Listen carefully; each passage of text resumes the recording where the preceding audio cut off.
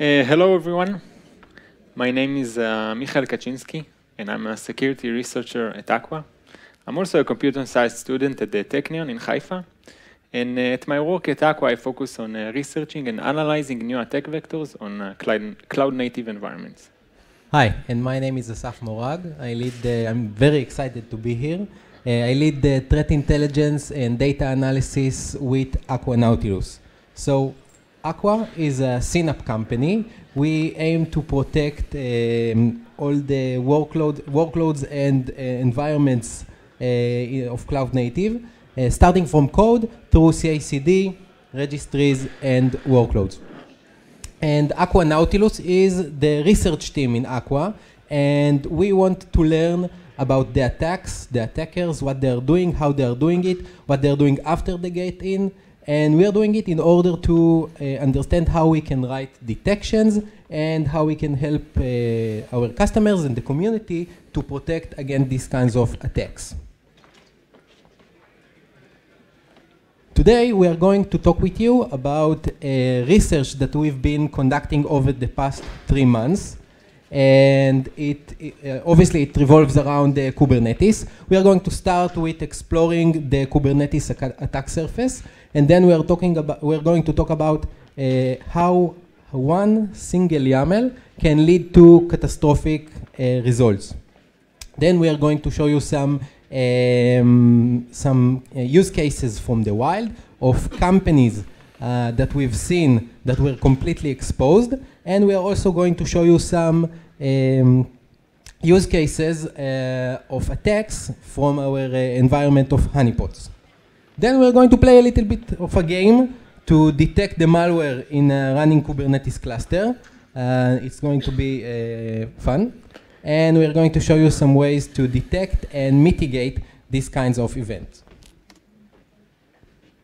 Okay, why Kubernetes? We are in a Kubernetes conference, and in 2023, you can't be a CEO without knowing what is Kubernetes. But you obviously already know that. You also know the value of Kubernetes. Uh, you can see here that uh, the commits and the work on Kubernetes has been increasing over the years, also the usage. And, um, you, and it's basically has become a gold standard. And the CSPs, the providers such as AWS and Azure, they actually uh, reduce uh, the level of complexity and it could be as easy as to push a button to create a cluster, so even Michael can do it. But it's not only the practitioners who uh, notice Kubernetes, also attackers. So uh, large botnets such as um, such as Kinsing and others, uh, they target Kubernetes as a whole. They're trying to look for, the, uh, for Kubernetes clusters in the wild and to uh, attack them. But it's not just Kubernetes as a whole, also the components, because they're getting very proficient and they're getting very good at it. So uh, kubelet, uh, misconfigured kubelets, etcd, API server, they are all in the game, they are all being targeted. Okay, let's uh, talk a little bit about uh, Kubernetes attack vectors. Okay, so this is a um, typical Kubernetes cluster. It consists of a control plane and two nodes. You can see on the control plane there's the API server, the etcd, the scheduler, and the controller. And on the nodes there are the kubelet, the proxy, and your other application. Each of these components could possess some risk to your cluster when doing something wrong. From public-facing applications with non-CVEs and exploit, to misconfigured applications such as Kubernetes dash dashboard, for instance, a misconfigured kubelet, and even misconfigured API servers. We've heard it all for the past few years, and there are countless of attack vectors into a Kubernetes cluster. On our research, we chose to focus on the API server as the attack surface. Uh, the API server is the primary entry point to the cluster. It has full control over the cluster, and it is frequently located outside of the VPC, which means that everyone with practically internet connectivity would be able to connect to it. It also governs the RBAC and secrets. And lastly, um, we must remember, remember that Kubernetes is just one part of the software development lifecycle. So on a standard cluster, you might gonna have some integrations to uh, third-party applications. For instance, you're going to have a MongoDB, and this MongoDB is outside of your cluster, and you will need to interact with it somehow. You will need to save the credentials of this MongoDB somewhere on your, um, on your cluster. Moreover, you might have a Docker registry that you need to pull and push images from. Those credentials to the Docker registry will be also saved somewhere on the cluster. And it's important to note that we've seen lots of attacks on Kubernetes clusters. In most of them, when attacker gained foothold into the cluster, they usually tried to access the API server. So for attackers and for us researchers, gaining access to the API server with high privileges is like getting the keys to the kingdom. Okay. Um, so we decided to name our talk one YAML away from disaster. This is because two main misconfigurations that we kept seeing, and both of them possess immediate threat to clusters. They are not new. We have uh, seen them for a long time. Uh, but we wanted to figure out why they keep showing up, and we wanted to see what's the impact that they still cause on organizations. Let's deep dive into the first misconfiguration. As you can see on the screen, this is the zero-click default configuration of an AKS. As you can see, the API server will be located outside of the VPC, which, as I said earlier, it means that everyone with practically internet connectivity would be able to reach it. And on the bottom of the screen, you can see a simple Shodan search. Uh, on this query, we found that there are over 1.1 million Kubernetes clusters that are accessible from the internet. Moreover, there's a very nice flag called anonymous auth or anonymous authentication. This flag is enabled to true on Kubernetes native, and it practically means that everyone which wants to connect to a cluster and choose to do it without a specific um, authentication method will be automatically assigned to a user, and this user is called system anonymous. As you can see also, this flag is enabled on EKS as well. It doesn't mean that the system anonymous user will have any permissions, but we would be able to get assigned to it. So let's go over the process of interacting with your cluster. DevOps and uh, developers try to access the cluster. They go through the etcd, and if network controls allows it, they go through a phase of authentication, and then through a phase of authorization. When doing the same thing with the anonymous user, things get a little bit different. We try to reach the API server, and then we go only through a phase of authorization. The authentication phase is completely redundant. So to sum it up, we saw that we might going to have connectivity to the API server because of the default configuration, and we will have a user, and this user is the system anonymous user. The system anonymous user, or the configuration, is a known problem, and since 2019, people started complaining about EKS to change this configuration, and even two years later, and even until today, nothing has been done to do it. So to sum it up, the default configuration makes us one step away from disaster. Giving anonymous user any permissions will practically mean that we are giving permissions to the whole world. And as you can imagine, we've seen clusters that uh, gave the anonymous user some permissions. This is an example from a cluster that gave the anonymous user cluster admin permissions.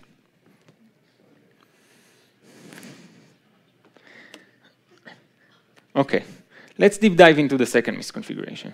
We have already seen this slide, and there's a very nice feature on kubectl called kubectl proxy. It is a proxy, and it runs on your uh, workstation. The proxy will start listening on port 8001 by default, and uh, it will accept requests from the localhost network interface. Uh, it is commonly used for convenience and even uh, to access internal applications that are not exposed outside of the cluster. Combined with those flags, with the address equals 000, it means that now the proxy on the workstation uh, will listen on all network interface, not just the local host. And when combined with the accept host flag, it will accept requests from all of the reachable hosts. So for example, you have a developer in your company. And this developer is working on a large private network or even on an EC2 with an uh, exposed IP address, with an external IP address. Everyone that could reach your developer's workstation would be automatically forwarded on port 8001 by, by default, as I said, to the API server. So you might think to yourself, this is not that horrible because we saw already that there are around 1.1 million Kubernetes clusters that could be accessed from the outside. But this is not the case. This is a real security risk because if someone would be able to access your developer's workstation, they will automatically gain the permissions of your developer. So if your developer is a cluster admin, for instance, they will be cluster admins as well.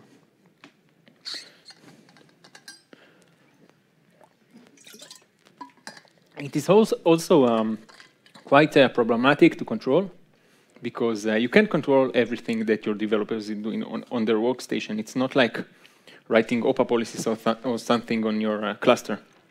It is mainly uh, happens on the on the um, the workload on the workstation.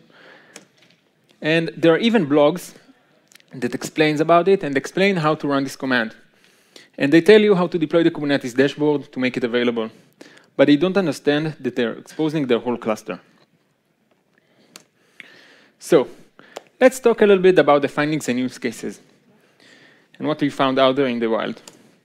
We've started with around 1.1 million Kubernetes clusters, as I said earlier. And we've ended with around 350 impacted companies. Some of them companies were small, some were medium, and some were large, Fortune 500 large.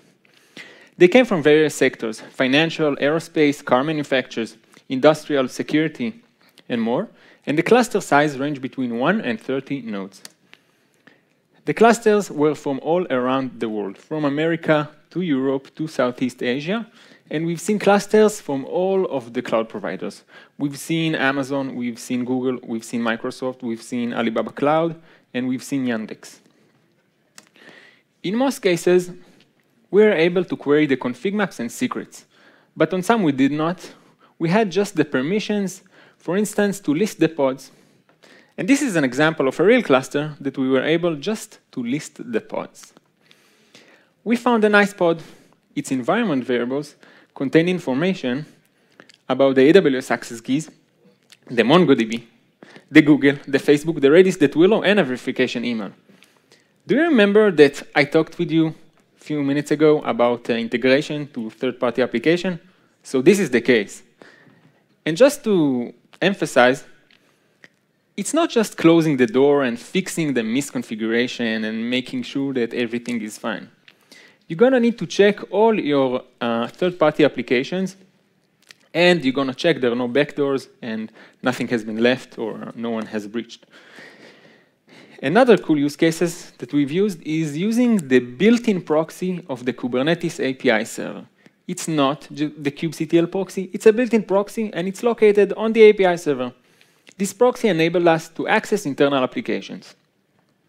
Those applications were not exposed or they were exposed, but they were behind the firewall. We were able to proxy ourselves from the API server into those inside applications. Some of these applications did not have any security measures because they're internal. But on some, we did need to enter user and credential. But to be honest, we found the users and credentials somewhere on the secrets, and we were able to get access to the Harbor, as you've seen before, to the Elasticsearch, more databases, and more uh, applications, which was quite fun. Now, let's take a look on a cluster that we've seen out there.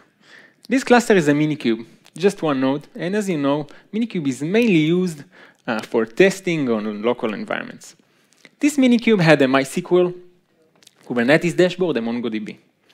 But on those secrets, of this Minikube, we found credentials to the MongoDB, the GitLab, and the Yandex Cloud. This MongoDB and the GitLab and the Yandex Cloud belong to production systems, not the MongoDB. And we practically got the databases, the source code, uh, the credentials to the Yandex Cloud, and we had access to the whole software development lifecycle, which was compromised. Now I'll hand it over to Assaf, and he will continue. Michael didn't convince me. Can you hear me? Yeah. So Michael didn't convince me. It's just a Minikube. Who cares about a Minikube? But this is a little bit different. We also found some bigger clusters, like this one. This is uh, 21 uh, clusters uh, exposed to the internet. And the admin here, uh, the Kubernetes admin, ran the kubectl proxy command uh, not on one, on five EC2 uh, endpoints, servers. And all these five uh, EC2 machines were exposed to the world. So um, one of them had an admin uh, privileges. So through that, you can tunnel, exactly as Michael said, to the cluster, to the API server, and get an admin access to the entire cluster. And just think about it. Just think about it. MySQL, the Airflow for the machine learning, uh, the SSO, the single sign-on of the company was in there. AWS credentials uh, to the console, to S3, Helm, and so on and so on. So the remediation of such a disaster is to close the company. no, I'm kidding. Uh, but just think about it. You need to, uh, you really need to stop the cluster. You need to rotate everything there. You need to rotate the keys. Think about how many days you're losing there. So we wanted to show you some examples, not only of companies that we've seen, and we've seen a lot of companies. We spoke with a lot of companies. We spoke with a lot of mortified uh, um, practitioners and engineers, but we also wanted to share with you um, some intelligence, some, some uh, information from uh, our honeypots. And as the research team, we build honeypots. We build the honeypots in order to understand what the attackers are doing once they're getting in. Because uh, with honeypots, what you do is you create an application or an environment, you insert, you introduce uh, misconfiguration or vulnerability, uh, most of the times they get in the attackers through that. Sometimes they surprise you and then you learn about new vulnerabilities or misconfigurations. And in this case, um, we have many uh, um, honeypots such as Redis and MongoDB and so on. But in this case, we created a honeypot of Kubernetes. Uh, we, uh, we exposed uh, the API server to the world with an admin uh, privileges. Uh, so everyone can get in, and we hid some surprises there, such as um, canary tokens, secrets. I'm going to explain about it uh, in a few moments. And Tracee. Tracee is Aqua open source. I'm going to explain about Tracee later too. But it basically records um, in the kernel level uh, events and allow us to learn and to understand about what the attackers are doing. Okay, so first I'm going to speak about the SSWW campaign and I'm, and I'm, going to explain what is the SSWW campaign in a few moments. The first thing the attackers are doing when they get into the environment is to understand further about the environment. It's only natural. Just they're listing the nodes and they're uh, seeing which nodes are there. Very simple. Next, they are deleting uh, competitive campaigns. So think about it. You have some, uh, you have an exposed uh, environment. Maybe some other uh, attackers have already exploited it. So they're trying to remove the noise, reduce the noise, and to um, re reduce the um, the CPU consumption because most of the campaigns that we see there are of crypto mining. In this case, we didn't have it, so they got a 404. Next, they are deploying uh, their own daemon set. And when deploying this daemon set, they are actually running a pod of, uh, with CryptoMiner on each of the nodes. And let's deep, let's dive a little bit deeper uh, to what they are running there. So uh, as you can see in the commands, they are mounting the file system, the root file system, and gaining uh, access to the host. Uh, each of every one of the of the hosts because it's a daemon set, and they are running a cron job uh, with SSW. They are uh, doing in the middle. You can see that they are uh, doing curl, uh, downloading uh, SSW from from the C2, their server, which is basically the what we call secondary payload. But they can run now that they have access to each and every one of the nodes. Uh, they gain strong persistence and they can run their basically whatever they want. In this case, they run some crypto miners and uh, rootkits, but they can do whatever they want.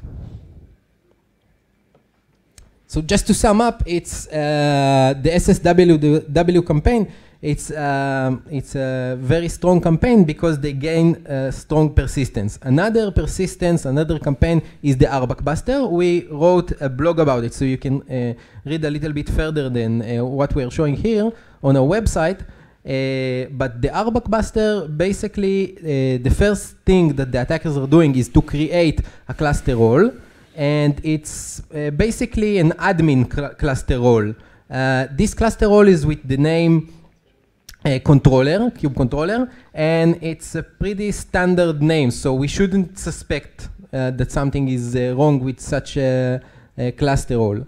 Then they're do doing a cluster role binding to uh, another standard uh, service account. And again, nothing that should raise any suspicion here because it's all uh, very looks legitimate and very standard. Then they are listing the secrets. By doing that, they collecting the, they collect the token, and now that they have the token with a role, an admin role that they just created, they can gain access if we close the vulnerability or misconfiguration or the first initial access that they, they gained, because it's irrelevant now. They have an access to, uh, to the cluster. Next, uh, they listed uh, the config maps because we hid there, and this is something I talked about earlier, they hid their uh, Canary token. The Canary token is uh, not an ordinary AWS or any other secret. It basically beacons back to us. So now, whenever someone is using it, we know that they used it. And in this specific case, they were trying to see what this AWS key can do.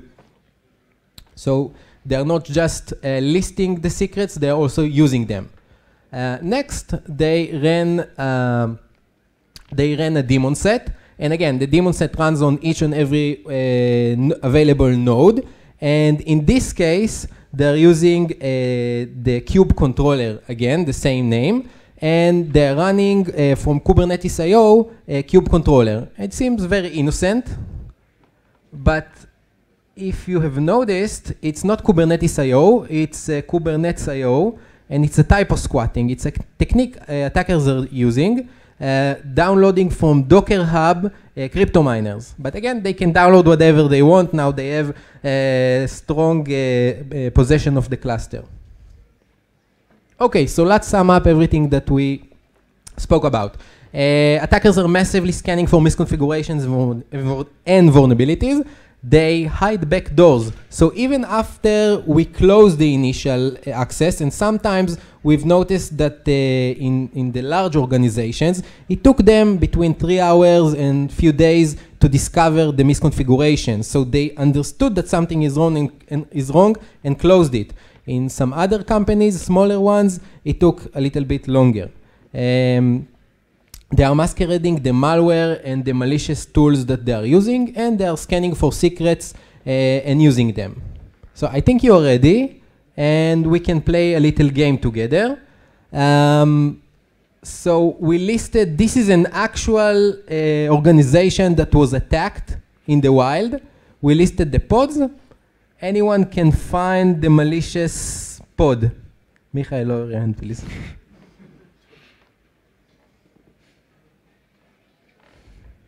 Okay, let me help you. I just wanted to make a point that it's difficult. Um, and you are missing some uh, information and the ability to query the cluster. But if you run um, the logs of uh, this specific uh, pod, you can see that uh, it is trying to, communi to communicate with support XMR. Support XMR uh, if you are a crypto miners enthusiastic or security enthusiastic, you know that support XMR is a crypto mining pool, and this uh, uh, innocent looking um, pod actually is running malicious content. So that's it. Let me uh, challenge you a little bit further. So this is a more realistic cluster, and I assure you, and it's not just the there are two screens, and I assure you that there is a malicious pod, it's least one running here. Uh, so just to help you with that, again, uh, this is the kube controller. This is actually the example of the RBAC uh, of, the, of the RBAC buster. And if you had this kind of crypto miner or this kind of malicious tool running in your cluster, whether if it's with uh, this tool or any um, visualization or, or, orchestration tool, it will be extremely difficult to understand what's running there and that there is a malicious uh, content. So let's get a little bit serious and talk about how you can detect and uh, what you need to do in order to mitigate. So one open source tool uh, by Aqua Security is Aqua Kube uh, it's a, a, great tool for pen tester and red teams designed to scan from the outside. And you can get um, uh, some great information uh, um, such as exposed APIs, services, secrets, and so on. Uh, you can download it uh, from Aqua Security, or you can run it from Docker Hub, from GitHub, Core Security GitHub.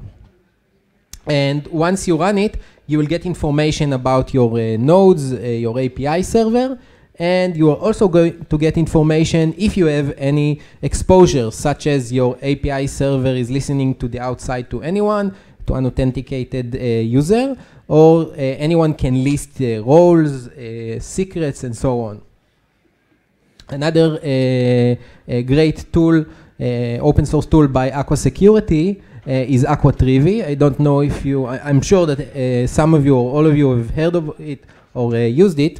It's an all-in-one security scanner. You can scan your environments, you can scan um, Git repositories, container images, uh, file system, and even the even Kubernetes. And you can gain a lot of uh, um, in information uh, such as the SBOM, vulnerabilities, misconfigurations, licenses, and so on. And uh, another uh, open source tool by uh, Aqua Security, Aqua Tracee. Um, and this is what we use in our um, in our uh, honeypots environments. It's a runtime security and forensics uh, utilizing uh, eBPF technology. we capture events in the kernel level and it comes with a built-in uh, sec um, security policy or security rules, which allows you to detect uh, malicious uh, activities such as uh, malware, uh, rootkit, uh, malicious network events, and so on. Um, we also uh, highly recommend to use some admission controls, such as this one that we've uh, found in, uh, in Artifact Hub. it will disallow the association between cluster role and anonymous users and will help you strengthen your environments. And to sum up, uh, you can scan from the outside with Trivy and KubeHunter. You can scan your control plane and uh, on the other side, uh, the, the nodes, uh, uh, the workloads, uh, the, the, containers. And you can install Tracee on your nodes and use Artifact Hub uh, policy con um, admission controls uh, to uh, harden your control plane. Okay, just to sum up um, the mitigation. Um, we at Aqua Security believe in uh, defense in depth, which means that the securi security uh, should be handled in uh, layers.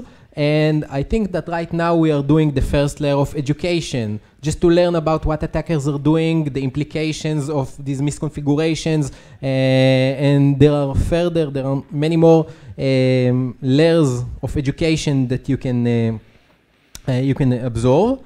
Uh, we strongly advise to use compliance and control policies um, in your uh, environments, limit the traffic. We've seen that there are lots of exposed API servers there, uh, sh you should really limit the traffic to the API servers and any other significant environments. Uh, use admission controls, uh, scan your clusters, and uh, monitor your workloads. We wish to thank you and enjoy the rest of the day. Thank you.